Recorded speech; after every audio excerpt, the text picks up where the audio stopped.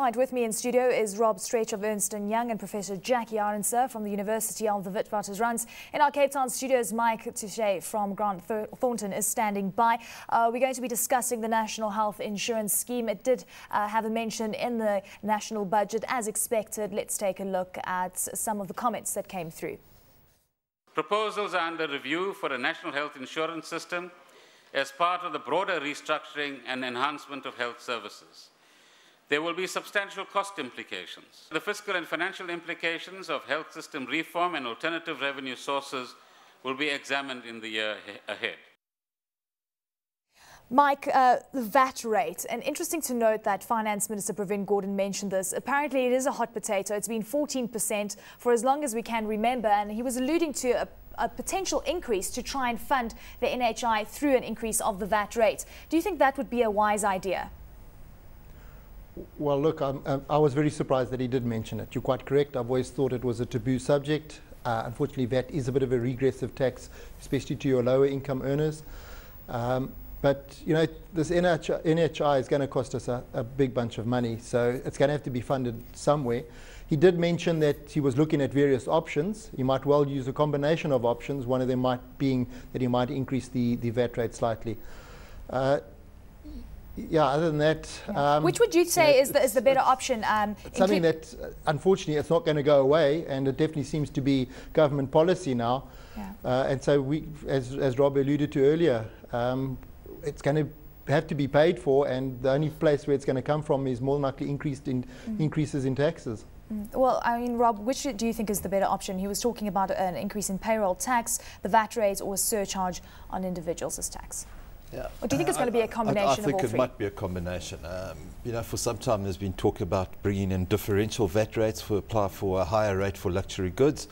They've been against it all along because of the fact that it's hard, quite hard to administer, uh, quite difficult to administer that sort of system, but there are a lot of territories that apply it.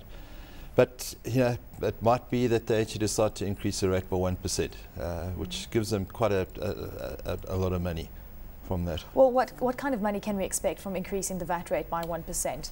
That's a significant yeah, it amount. Would be significant. And uh, given yeah. the fact that the NHI is going to cost a significant amount, we do need to uh, put the funding structures in place, Jackie. Well, absolutely. And um, even with a 1% increase in the VAT rate, uh, I don't think that's going to be sufficient to cover what we need. Uh, we've seen all sorts of estimates about what will be required, and the minister referred to substantial revenues and costs, but you know we still have to fine tune the estimates.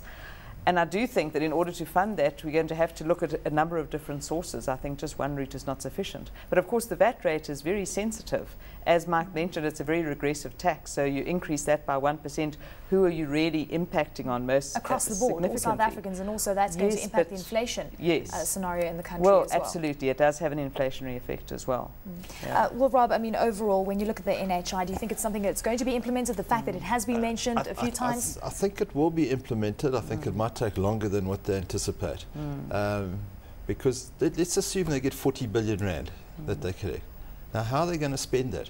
You know, one of the problems you have with the existing delivery is that they just can't spend it. Mm. Where are you going to find the doctors? Where are you going to find the nurses, etc.? So there's still that aspect to consider too. Mm. Well, Mike, what are your sentiments with regards to that? Do you think it is uh, going to come through? And, uh, you know, as Rob was alluding to, perhaps we need to get the implementation right and perhaps focus on the job scenario and see if we can get that right as opposed to then looking towards a national health insurance scheme as well. You know, un unfortunately, my, my feeling is that once we work out what, what it's going to cost us, we might decide to uh, turn away from it. But I think politically, it's not going to go away. It's been on the, on, the, on the agenda for quite a while now, over two years. Uh, yeah, I just don't think it's going to go away, and somewhere along the line, somebody's going to have to pay for it. Um, and, and it's going to be who's going to pay for it. Um, yeah, so mm. I, I, I, personally do, do not think it's going to go away unless there's a major uh, political mind change. Mm, or perhaps business uh, will be paying for it in combination with uh, consumers as well. Uh, looking at dividends tax, uh, Mike, it's going to take effect on the 1st of April uh, 2012, and that's replacing the secondary tax on companies. Do you think it's, it's a positive thing? I know David Shapiro was chatting to us a little earlier, and he was saying we've got to be careful to not take investment investors and, and make them look elsewhere for those opportunities. Well, I think from a, from a, a tax consulting uh, perspective, it is, a, it is a great step forward. Uh, the legislation's been in place, the implementation date hasn't been around. Uh, you, when you're getting foreign investors coming into this country, you have to explain to them that we've got this STC, uh, STC type tax and it's going to be replaced, but nobody can answer when. So I, I think it does give us a little bit more certainty. You know, initially I think it was going to be implemented last year sometime, and then there were talks that it was going to be 2013. So it's great that they, they've put a, a peg in the sand. Hopefully they'll stick to it. Um, and I think that, that is a, it, it is a good thing. At least it gives us a fair amount of certainty um, as to how uh, dividends are going to be taxed. Um, and then, you know, hopefully they can renegotiate all those, the, the tax treaties that they have been looking at to make sure that the relief that is that they've been sought, been looking for, is going to be granted to those jurisdictions um, that they've been negotiating. Well, and with. Rob, of course, it's a good thing that we, we don't have those question marks hanging over the dividend tax. Do you think it's just another easy way to, to no, increase I, revenue I, base? I think it's, it's far more acceptable uh, globally to have a dividend withholding tax uh, than an, an, STC. I think South Africa mm. is only one of two countries in the world that has a STC, and foreigners don't understand it.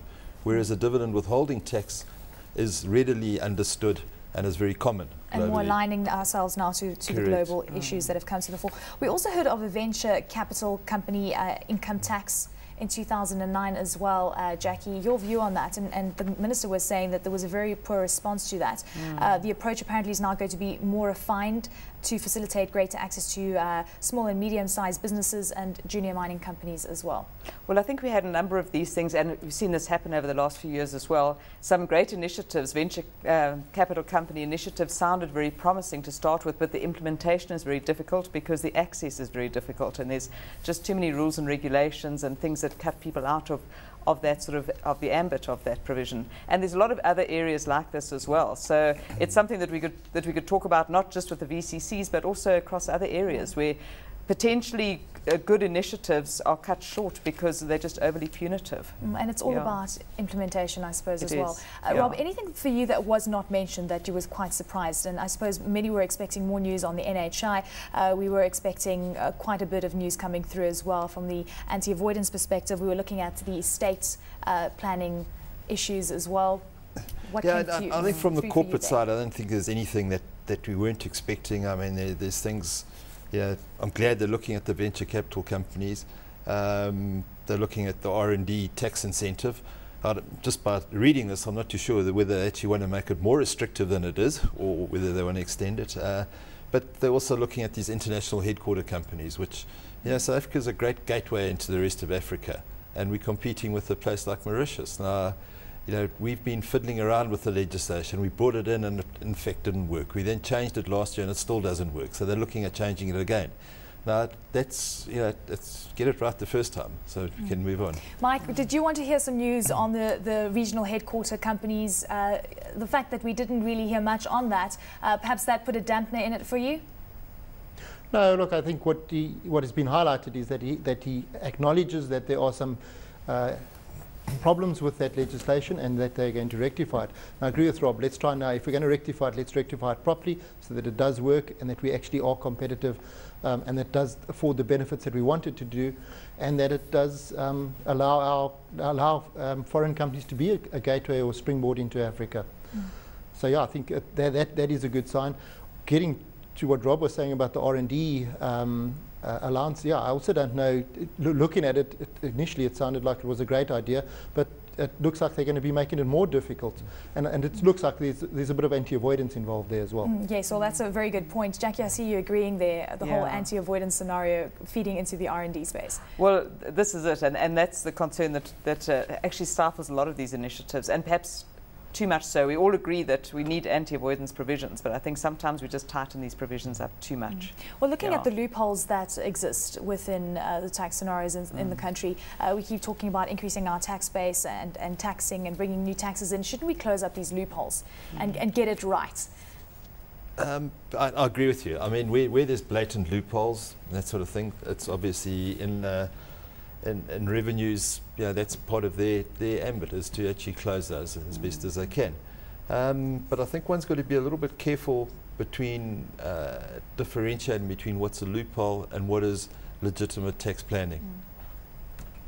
Well, tell us a little bit more about that, Rob. I mean, legitimate tax planning, uh, tax avoidance, tax evasion, uh, Oh, yeah, yeah. three concepts that perhaps have negative stigma, but you, are talking about uh, proper Yeah, tax I, I planning mean, as proper well. tax planning, you know, arranging one's affairs. There's nothing wrong with arranging your affairs to actually minimise your tax, Mm. you know, as opposed to avoidance or falling foul of the anti-avoidance legislation. And I think the anti-avoidance legislation has been beefed up quite a lot. Uh, SARS recently, I think in November or December, had quite a major success in the courts, uh, which they're strutting around with now. But uh, I think we're going to see more of that sort of feedback coming through from the courts and, and that sort of interpretation. And we've got the tax ombudsman as well, Jackie. Uh, tax avoidance, uh, again, you're talking about tax planning as well. Uh, we also saw a very interesting um, occurrence uh, late last year that ha- perhaps put tax avoidance under the spotlight more so than before. Uh, how do you see that playing out into 2011? Well, as Rob says, I think there's going to be more and more focus on this, and we're going to see possibly more cases coming to court, more focus in terms of SARS enforcement and so on. And so, yeah, a lot of a lot of focus on tax avoidance, and of course, there's also, also the the argument there as to where do you draw the line between avoidance, evasion, and this impermissible tax avoidance, which is the term that SARS now uses, and it then becomes just a bit grey. Mike, Yeah. let's get your, your views on that. Sure. I, I, yeah, look, I, I, I think SARS, uh, uh, as Rob said, have, have won that case, and they, they really are think, thinking, well, I think they're quite confident in taking any further ones to court. So what we might more than likely see is a lot more people trying to settle. Some of the people, some of institutions might want to try and uh, take advantage of the voluntary disclosure program. Uh, that could maybe assist them in And that that comes to, the, to an end Uh, at the but end of yes, it's- October this it's- year, It's Mike. a hotly debated topic. It's something that you, you find in South Africa that uh, we continually are uh, trying to put a lot of anti-avoidance legislation in place, and it sometimes does stifle the, the purpose of the legislation. And, and where the legitimate breaks, um, you know, the, the, anti-avoidance does possibly impede it.